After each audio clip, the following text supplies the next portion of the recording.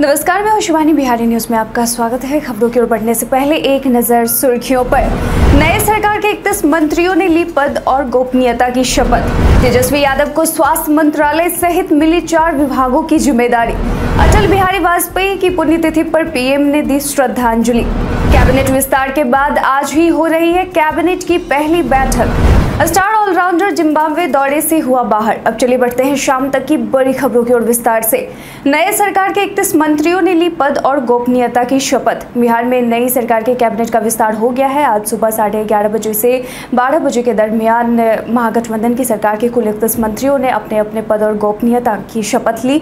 आपको बता दें कि इसमें राजद से सबसे ज़्यादा सोलह मंत्री तेजस्वी यादव तेज प्रताप यादव, आलोक मेहता, अनिता देवी, कुमार सर्वजीत समीर कुमार महासेठ, मोहम्मद शाहनवाज, चंद्रशेखर, रामानंद यादव, सुरेंद्र यादव, कार्तिक सिंह, इसराइल मंसूरी शमीम अहमद, सुरेंद्र राम, सुधाकर सिंह, वहीं जदयू से कुल ग्यारह मंत्री, विजय चौधरी, विजेंद्र यादव, अशोक चौधरी, श्रवण कुमार, संजय झा, लेसी सिंह, जमा खान, जयंत राज, सुनील कुमार, मदन सहनी, शीला मंडल, सुमित कुमार सिंह, कांग्रेस कोटे से दो मंत्री, मुरारी गौतम, आफाक अहमद, वहीं जीतन रामांझी की पार्टी हम को एक मंत्री पद, संतोष कुमार सुमन को दे दिया गया है।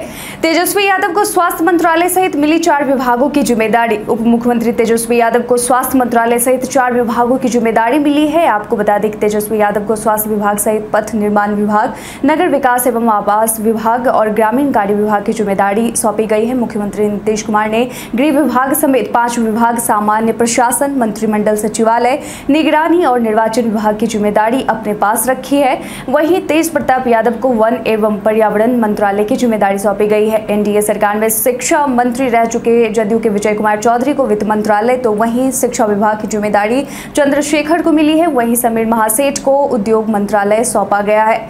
मानसून के सामान्य होने की उम्मीद बरकरार बिहार में मानसून ने इस बार लोगों को खूब परेशान किया है। किसानों की फ़सलें बर्बाद हो रही हैं। वहीं दक्षिण पश्चिम मानसून कमज़ोर पड़ने से बिहार में लोग अच्छी बारिश के लिए तरस रहे हैं। हालाँकि इस दौरान बिहार में हल्की फुल्की बारिश होती रही है।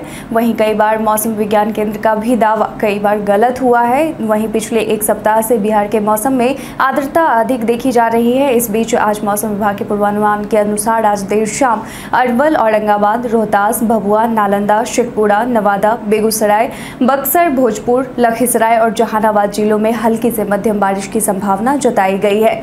भोजपुरी के ये दो स्टार ने जवानों संग मनाया आज़ादी का जश्न। 15 अगस्त 2022 स्वतंत्रता दिवस के मौके पर मनोज वाजपेयी और निरहुआ ने मिलकर देश के जवानों को खुद अपने हाथों से खाना खिलाया है। मालूम हो कि इस वर्ष स्वतंत्रता दिवस बेहद खास रहा है। इस वर्ष केंद्र सरकार द्वारा हर घर तिरंगा अभियान चलाया गया।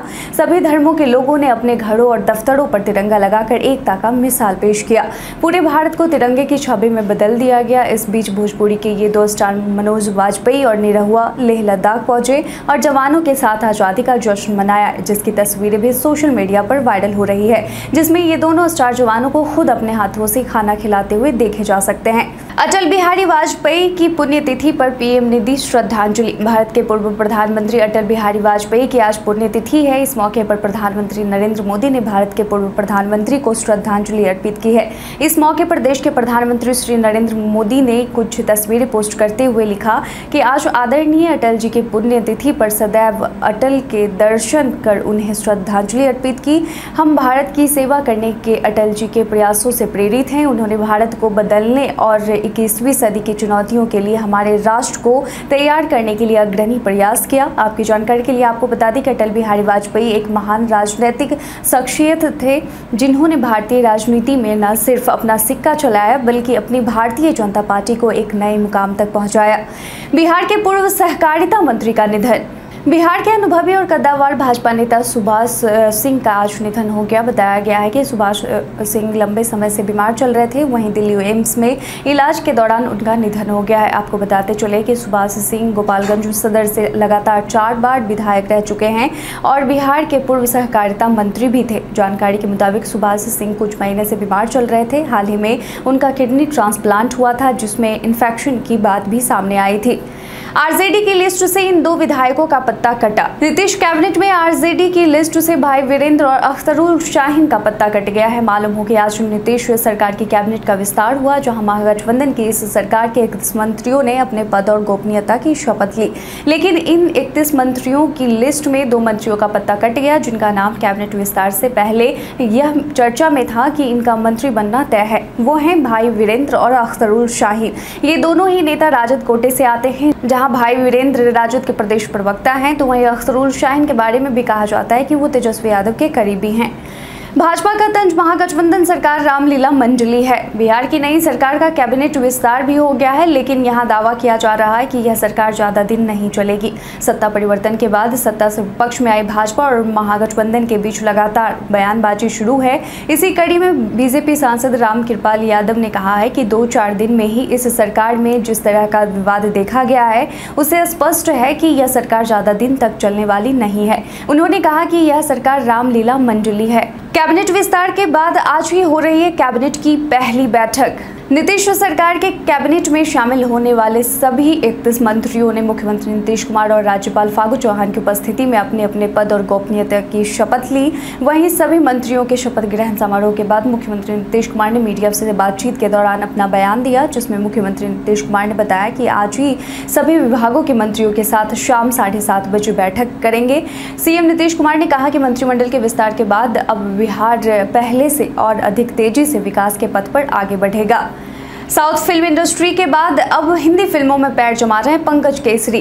बिहार की गलियों से निकलकर साउथ फ़िल्म इंडस्ट्री में पहचान बनाने वाले पंकज केसरी अब राजगद्दी फ़िल्म के जारी हिंदी सिनेमा में अपनी पकड़ बनाने की कोशिश में आगे बढ़ रहे हैं। आपको बता दें कि फ़िल्म राजगद्दी बिहार की छात्र राजनीति की कहानी पर आधारित है। यह फ़िल्म इसी साल नवंबर में रिलीज़ होगी। खास बात यह है कि इस फ़िल्म में उनके साथ मान्या सिंह है, जो पिछले वर्ष मिस इंडिया बनी थी। वहीं इसके बाद उनकी फ़िल्म भाग मोहब्बत भी आ रही है। आपको बताते चले कि पंकज केसरी बिहार के आरा ज़िले से ताल्लुक रखते हैं। डिप्टी सीएम तेजस्वी यादव की मुश्किलें बढ़ा सकती है सीबीआई। एक और जहाँ उप मुख्यमंत्री बनने के बाद तेजस्वी यादव बिहार की छवि बदलने के लिए उत्सुक हैं, वहीं दूसरी ओर सीबीआई उन पर शिकंजा कसने की तैयारी में है। सीबीआई राजद की मुश्किलें बढ़ा सकती है और सीबीआई इसकी तैयारी में है। दरअसल सीबीआई चाहती है कि आईआरसीटीसी होटल घोटाले में ट्रायल तेज़ी से चलाया जाए। इस केस में सीबीआई ने अपनी चार्जशीट में बिहार के उप मुख्यमंत्री तेजस्वी यादव, लालू यादव, राबड़ी देवी को आरोपी बनाया है। इसके अलावा ग्यारह अन्य लोग भी शामिल हैं। इस घोटाले के आरोपियों के तौर पर इनके नाम दर्ज किए गए हैं। अब देखना ये होगा कि आखिर सीबीआई का अगला कदम क्या होगा। मध्य प्रदेश के मुख्यमंत्री ने बिहार के संजय कुमार के लिए दो लाख इनाम की राशि का किया ऐलान। मध्य प्रदेश के मुख्यमंत्री शिवराज सिंह चौहान बिहार के एक शख्स की खूब तारीफ़ कर रहे हैं और साथ ही काबिल तारीफ़ काम के लिए सराहना भी कर रहे हैं। दरअसल पिछले दिनों मध्य प्रदेश के धार ज़िले के धर्मपुरी क्षेत्र में कारम नदी पर करीब 350 करोड़ रुपए की लागत से निर्माणाधीन डैम में दरार आ गई थी, जिसके बाद इसको लेकर मुख्यमंत्री भी काफ़ी चिंतित थे। एहतियात के तौर पर ग्यारह गाँव को खाली कराने का निर्देश दिया गया था। इस बड़ी आपदा में लोगों को बचाने के लिए मुजफ्फरपुर के संजय कुमार भारती और उनकी टीम ने जान पर खेल कर कारम नदी के चैनल का निर्माण किया और कड़ी मशक्कत के बाद एक बड़ी तबाही टल गई। इस काम को देखते हुए मध्य प्रदेश के सीएम ने स्वतंत्रता दिवस समारोह में संजय कुमार की तारीफ़ की और संजय समेत मूविंग मशीन के चालकों को दो दो लाख रुपए इनाम की राशि देने का ऐलान किया। इस योजना का लाभ लेने के लिए जल्द करवाएँ ई के अगर आप भी प्रधानमंत्री कृषि सम्मान निधि योजना का लाभ लेना चाहते हैं तो उसके लिए आपको ई के करना होगा। क्योंकि यह अनिवार्य कर दिया गया है, वहीं प्रधानमंत्री किसान सम्मान निधि योजना में ई के की अंतिम तारीख इकतीस अगस्त 2022 तक तय की गई है। ऐसे में आपको इस तय तारीख से पहले इस योजना के लिए के करवाना होगा। आपकी जानकारी के लिए आपको बता दें कि इस योजना के तहत केंद्र सरकार भारतीय किसानों को कृषि एवं किसान कल्याण विभाग द्वारा हर साल छह हज़ार रुपए देती है। स्टार ऑलराउंडर जिम्बाब्वे दौरे से हुआ बाहर। ऑलराउंडर वाशिंगटन सुंदर की वापसी का भी और इंतज़ार करना होगा क्योंकि वो जिम्बाब्वे दौरे से बाहर हो गए हैं। जी हाँ भारतीय टीम के राहुल की कप्तानी और वीवीएस लक्ष्मण की कोचिंग में 18 अगस्त से जिम्बाब्वे के खिलाफ वनडे सीरीज़ खेलेगी। जिम्बाब्वे के हरारे स्पोर्ट्स क्लब में 18, 20 और 22 अगस्त को वनडे मैच खेले जाएँगे। इस दौरे पर तीन खिलाड़ियों की वापसी हुई थी जो इंजरी के बाद लौट रहे थे। तीनों का नाम स्क्वाड में था। ये तीन खिलाड़ी हैं कप्तान के राहुल दीपक चार और वाशिंगटन सुंदर। तीनों इंजरी के बाद वापसी कर रहे थे लेकिन सुंदर की वापसी में थोड़ा और समय लगेगा। देश भर में आए दस हज़ार से भी कम कोरोना के मामले। केंद्रीय स्वास्थ्य मंत्रालय द्वारा आज यानी मंगलवार को जारी किए गए कोरोना रिपोर्ट के अनुसार पिछले 24 घंटे में कोविड 19 के 8,813 नए मामले सामने आए हैं। वहीं बिहार की बात करें तो यहाँ बीते दिन जारी किए गए पिछले 24 घंटों के आंकड़ों के अनुसार कोरोना संक्रमण के मामले में मामूली कमी आई है जिसके बाद राज्य भर में कुल 105 कोरोना के नए मरीज़ मिले हैं। वहीं राजधानी पटना की बात करें तो यहाँ सबसे अधिक बत्तीस नए मामले सामने आए हैं। वहीं बीते दिन के पिछले चौबीस घंटे में कुल सड़सठ कोरोना सैंपल की जाँच की गई है, जहाँ बिरानवे मरीज़ ठीक होकर घर भी वापस लौटे हैं। बीते दिन हमारे द्वारा पूछे गए सवाल का आप लोगों में से बहुत लोगों ने अपना जवाब में कमेंट सेक्शन में लिख कर दिया था, जिन्होंने पूछे गए सवाल का जवाब दिया है। उनके नाम है धनंजय पोदार, रंजीत मिश्रा, अमर आज़ाद, शंकर मुखिया, आफ्ताब अंसारी, रोहित कुमार सिंह, मनीष झा, मृत्युंजय कुमार, ज्योति कुमार, कुलदीप कुमार, राजीव कुमार, उपेंद्र राज, धीरज कुमार, बाबूलाल मरांडी और संतोष कुमार। इसके साथ ही बढ़ते हैं आज के सवाल की ओर। आज का सवाल है कि कैबिनेट में राजद के मंत्रियों को मिले विभागों से क्या आप संतुष्ट हैं? अपना जवाब में कमेंट सेक्शन में लिखकर ज़रूर बताएँ। आज के लिए बस इतना ही। बिहार की तमाम खबर के साथ अपडेट रहने के लिए देखते रहें बिहारी न्यूज़ और साथ ही चैनल को सब्सक्राइब करना और बेल आइकन दबाना ना भूलें। धन्यवाद।